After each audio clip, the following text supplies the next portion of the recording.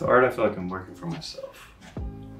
And so I think that's an easier space to be happy creating.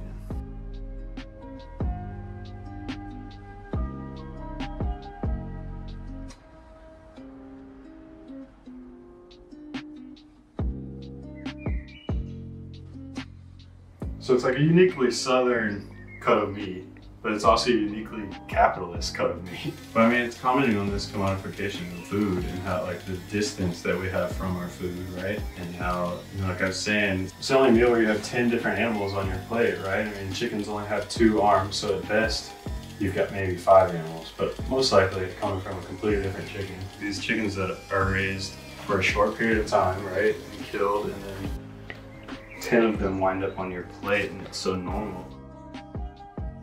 Chicken wing bones also commenting on like the cut of the cut of meat in general and why that's prevalent in our society. Who historically does the cooking in the South?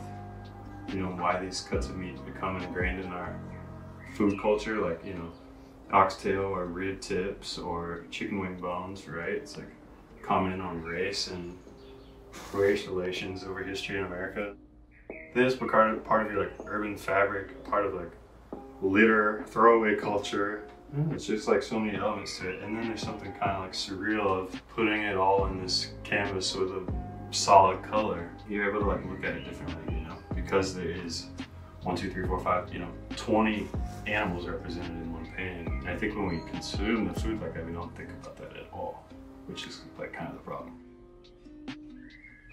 It's like a social thing. You've got this like, you know, it's a finger food, I guess you could call it. It's a bar food in Atlanta. Bar culture is our food culture, you know. Places have these kind of iconic foods and Atlanta, whether people realize it or not, is like tied to the chicken like transcends class, it transcends race and culture and identity. And yet it's so wrapped up in all of that historically.